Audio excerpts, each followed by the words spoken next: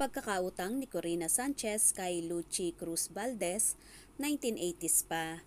For more latest updates and chika balita, tumutok lang sa channel ko. Narito tunghayan natin ang buong detalye.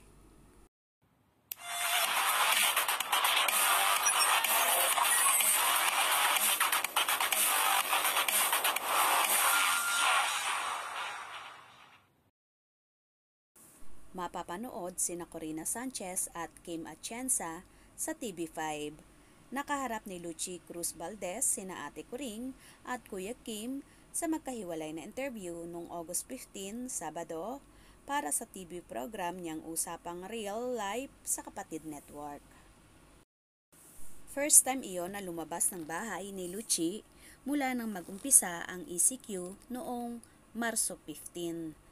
Agosto 15 ng umaga, nagsadya si Luchi sa condo unit ni Corina sa BGC Taguig City.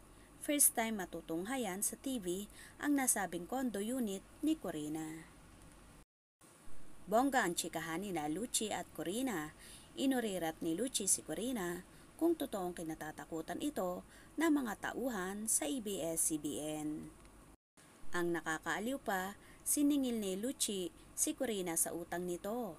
Noong 1980s na pareho pa silang nasa ABS-CBN, pinahiram ni Luchi ng 100 pesos si Corina para pambayad sa taxi. Nakalimutan iyon ni Corina, kaya ipinaalala ni Luchi. Siyempre, napahugot bigla si Corina sa kanyang wallet. Ang tanong, tatanggapin kaya ito ni Luchi kasama ang interes? Pagkatapos ng morning chikahan at singilan kay Corina, pinuntahan naman ni Luchi si Kim at ang misis nitong si Felicia kinahaponan sa tahanan ng mga ito sa Malate, Manila.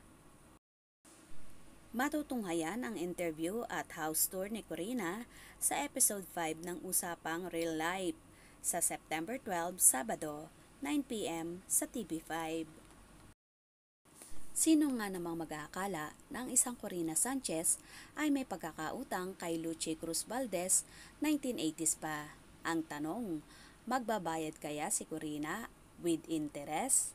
Tatanggapin kaya ito ni Luchi Cruz Valdez? Mga kabarangay, anong masasabi nyo regarding dito? Just comment down below para sa inyong saloobin at mga reaksyon. For more latest updates and chika balita, tumutok lang sa channel ko. This is LBT Showbiz News. Nagulat.